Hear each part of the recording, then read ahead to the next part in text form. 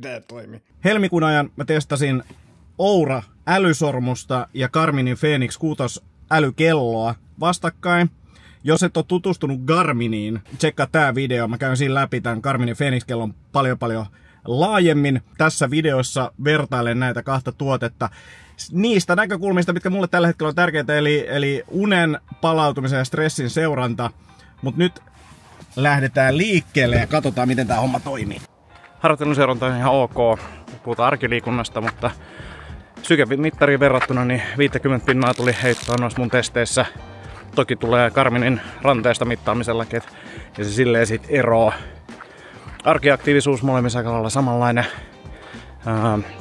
se mistä mä olin innoissani, niin tämmönen rest mode, palautumismoodi löytyi tosta tuota Ourasta, mutta mä ajattelin, että se on joku semmonen, että se kannustaa, tekee jotain hengitysharjoituksia ja muuta, niin ei. Se vaan piilottaa käytännössä se aktiivisuustavoitteen. Mutta jos ei tarkkaa syketietoa halua treenistä, niin sit siihenkin ihan ok. Aktiivisuustavoitteet tulee aika helposti täyteen molemmissa. Ja molemmissa pystyy säätämään niitä, niin se oli mun mielestä kiva.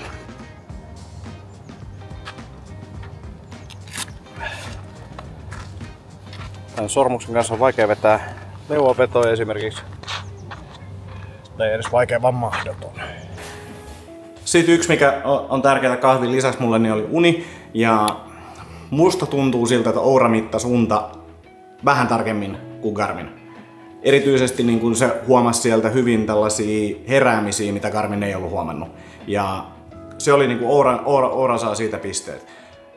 Toinen, mikä liittyy unen mittaamiseen, oli se, että oli tämmöinen tutkimus, että mitkään näistä laitteista ei niin univaiheita tunnista kovin hyvin, eikä välttämättä sitä unen pituuttakaan. Tämä on varmasti totta, ää, mutta silti niin kuin ehkä unitrendit määrä, määränkin myötä niin pitää paikkaansa, jos unen määrä näiden mittareiden mukaan on lisääntynyt sille tasaisesti, niin se varmasti pitää paikkaansa ainakin jossain määrin. Jotain on tehty eri tavalla. Mutta mikä mua ärsytti tässä tutkimushommassa oli se, että monet sanoivat sitten, että okei, okay, muutamat sano, he ei tämän takia pidäkään kelloa vaikka kädessä yöllä tai jotain. Ok, se on joku perustelu, mutta silti molemmissa näissä laitteissa palautumisen seuranta oli aika lailla samalla tasolla. Koska nämä laitteet mittaa sitä sykevälivaihtelua, niin stressitasoa ja HRVtä yli sen yön, jolloin me pystytään päättämään palautumisesta tosi paljon, niin se, että joku mittari ei mittaa sun univaiheita, ei ole mun mielestä riittävä syy sille, minkä takia sä oot että no en mä sitten usko mihinkään, mitä tämä mittari sanoo. Se vähän ehkä ärsytti. Tosiaan palautuminen molemmissa aika lailla sama. Äh, näyttää hyvin sen tämän päivän, mitä kannattaisi tehdä, missä mennään, pitääkö ottaa vähän iisimmin ja muuta. Tosi, tosi hyvä molemmissa. Äh, Ourasta olisin ajatellut, että tuossa on jotain niin oppeja esimerkiksi stressin osalta, niin ei oikeastaan. Oura on ehkä yleisestikin semmoinen aika maltillinen. Se on ehkä normi kuluttajalle eikä huippuurheilijalle niin kuin itse. Suunnattu laite joka tarkoittaa sitä myös, että stressikin niin kun, toki se noudattaa jotain baselinea, minkä se on multa mitannut, mutta tuntuu, että Karmin on paljon tiukempi sen stressin osalta ja ehkä myös tarkempi stressin osalta. Tämä ei perustu niin kuin mihinkään oikeaan dataan muuta kuin siihen fiilikseen, mikä mulla on missäkin hetkessä ja näin poispäin. Niin musta tuntuu, että Karmin on tarkempi. Sitten tää on sormus, tää on kello. Sormus näyttää vähän keijolta, varsinkin tolleen niin kuin etusormessa.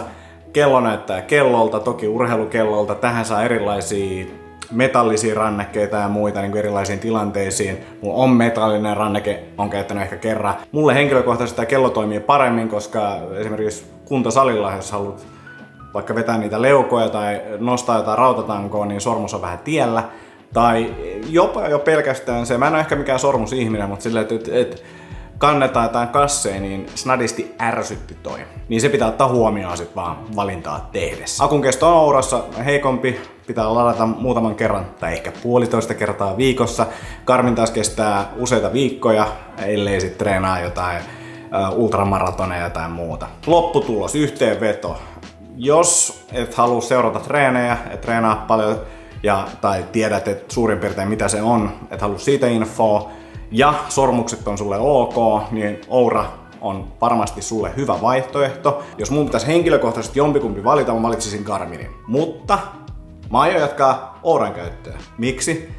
koska helmikuu ja puolet maaliskuusta meni yksityisasioiden setvimisessä, niin projekti ei oikein edennyt, en suorittanut mitään, mokasin kaikki. Ja össön sössön. Nothing is impossible! Maaliskuussa lähtee uusi vaihde silmää, huhtikuussa rikotaan ennätyksiä. Just do it! Mä aion jatkaa Ouran käyttöä sen takia, että ehkä se tuo mulle jotain lisää oivalluksia, ehkä se data paranee tai jotain. Jos näin käy, raportoin siitä teille, mutta nyt teoriasta käytäntöön jatkuu ja me lähdetään valmistautumaan huhtikuuhun.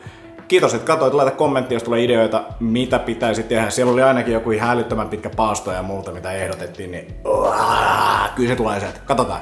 Vaikka. Uusia juttuja tästä